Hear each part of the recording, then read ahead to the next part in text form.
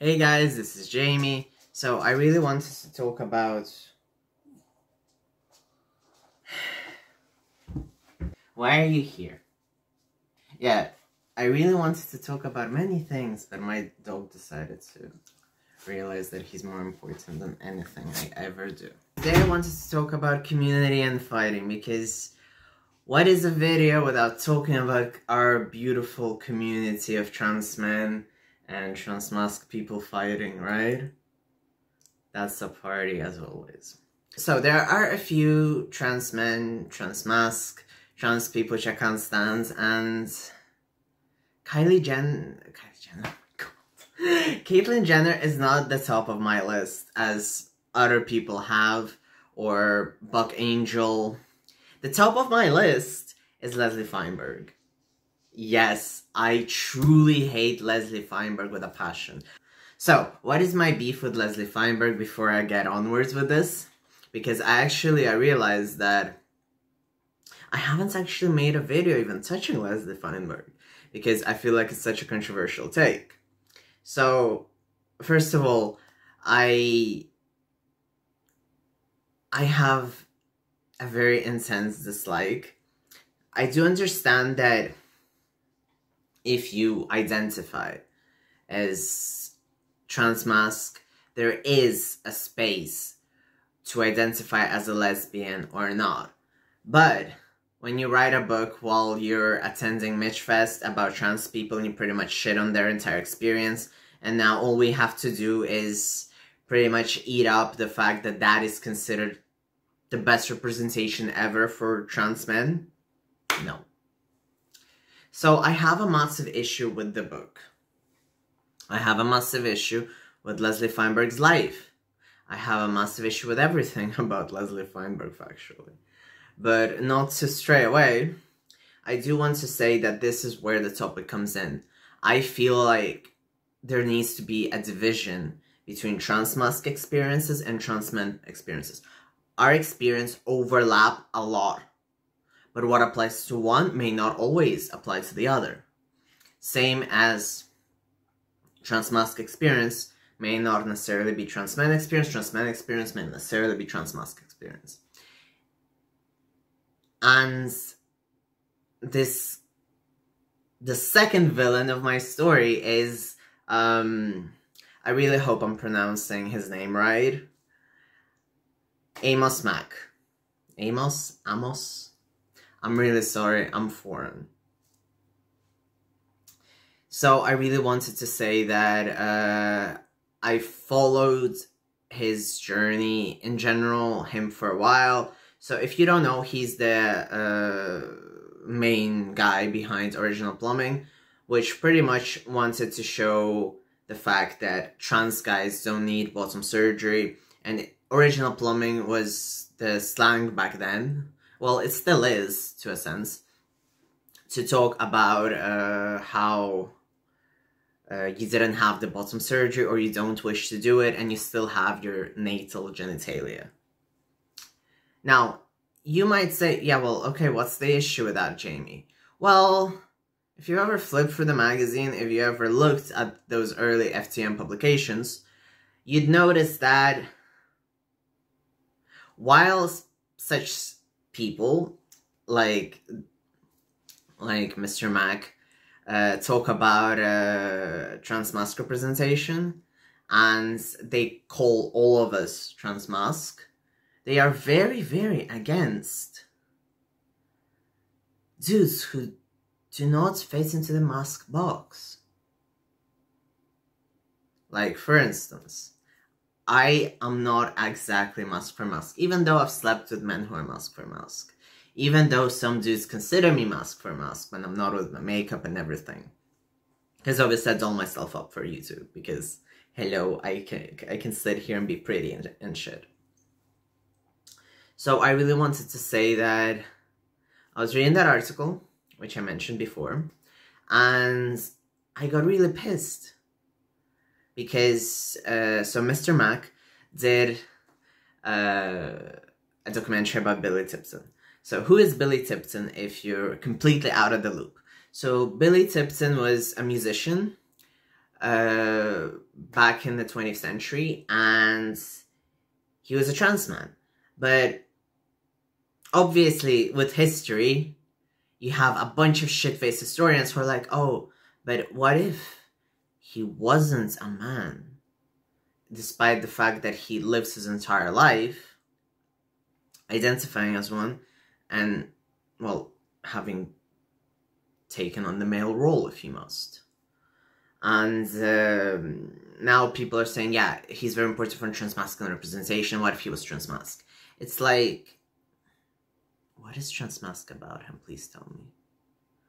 And I do understand that back then it was much more difficult to identify certain things, but I'm pretty sure he wasn't transmasc. He pretty much felt very into being a dude as he was. He hated and uh, etc. So reading this interview, I was really confused why someone who decided to touch on the subject of Billy Tipton, which everyone knows has in the community as a trans man, to label it as a transmasculine experience.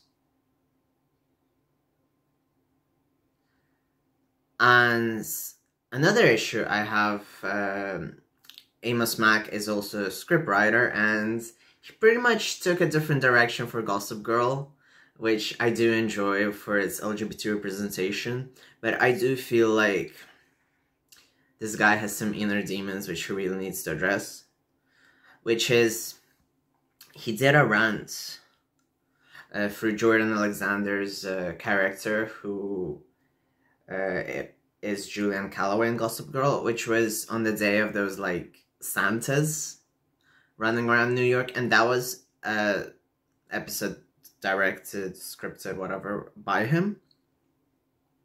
And when me and my partner were watching it, uh, we were like, yeah, this is probably written by a really shitty trans guy who thinks that he can just complain about men and he'll get a golden star. So so not only this guy has the audacity to think that every trans man experience is a trans masculine thing, but he also has the audacity to pretty much rant that men are bad. It's like, bitch, who the fuck do you think we are? I'm sorry, I say bitch, who the fuck do you think we are? To fucking anybody.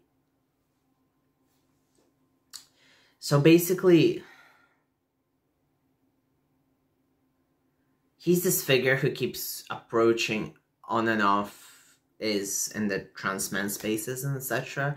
And then obviously there's Leslie Feinberg who's like a ghost of whatever the fuck, which I just want to go away. And this made me question like because trans women don't get that. And it's very specific because there are obviously trans feminine people and when you see a trans woman, you don't say that's a trans feminine person, you say that's a trans woman. So when you talk about trans men, you you try to pretty much umbrella it and say trans masculine. That's so lovely. I use it myself as well. But when it comes to talking specifically about a trans man, I would not even hesitate to call him a trans man or a man. Why are you calling someone masculine?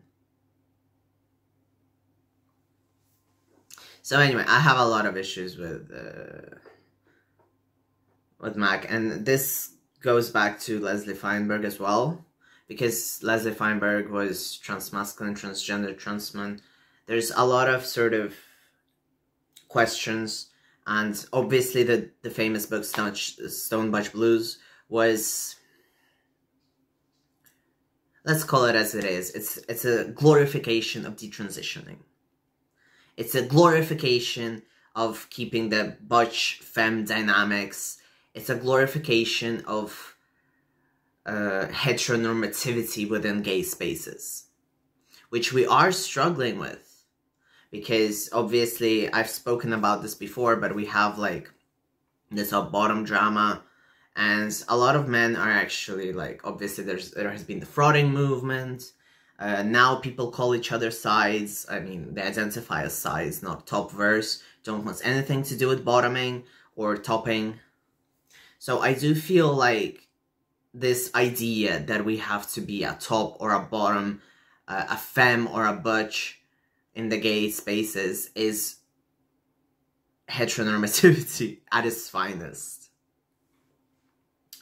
So I find it really weird. And I feel like as the time goes, everyone's just fighting for their own thing.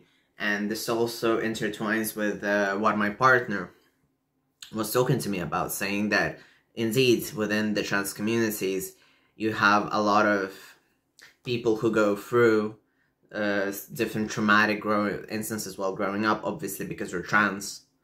And we hear certain things like, oh, you're not masc enough, oh, you're not femme enough, or like, if you do this, you're too femme, and no one's to take you seriously.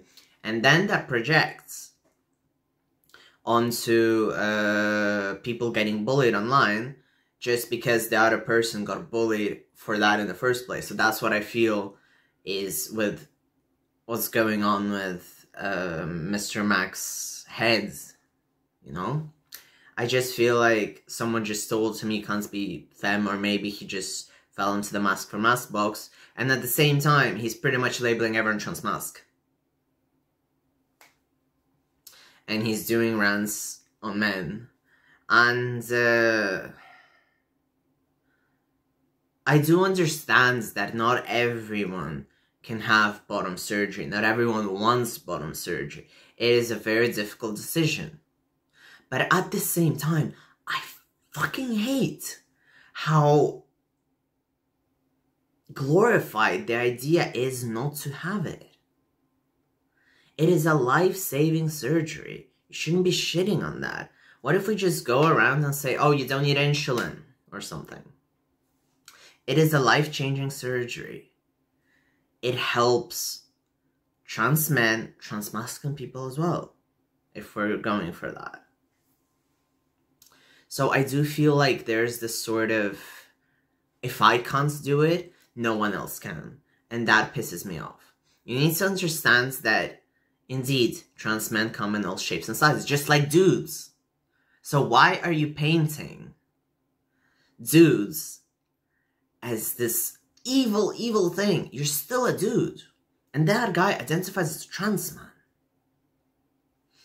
So you're going around saying that you're the special snowflake while you discriminate against men, while you discriminate against men who are not masc for masc, and you are a buffoon. You're literally just insane. So I just really wanted to get this off my chest and I I talked about um, obviously Mac and uh, Leslie Feinberg because I hate them both, and um, they speak a lot for the community. Yeah, maybe I'm exaggerating because I'm very into the representation we get, the tidbits of representation we get, and I do wish trans men were treated more seriously when we're clearly not treated very seriously. So yeah, and I also wanted to address that you can't just say trans men come in all shapes and sizes when you don't accept other trans dudes. And uh, then you might say, Jamie, but you're literally thrashing Leslie Feinberg. I am thrashing a fucking transphobe who went to Michfest. And yes, you may tell me that at the end of the life, Leslie Feinberg went to Trans Camp, which was a counter to Michfest. And, but that's not what they're known for. They're known for Stone Butch Blues. And they never apologize for it that is their legacy. That is the legacy their wife uh, sprouts and now calls Leslie by she pronouns.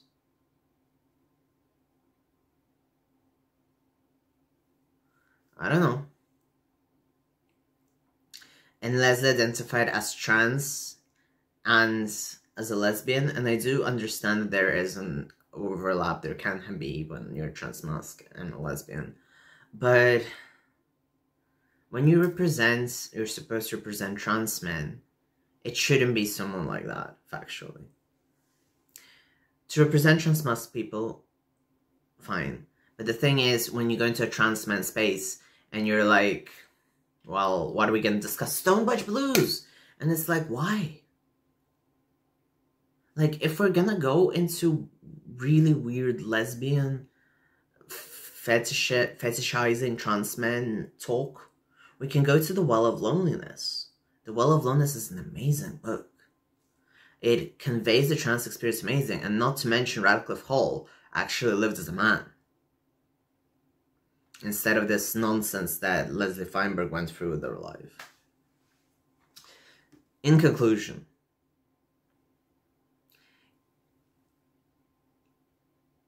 I just hate people who are bigots. Pretty much it.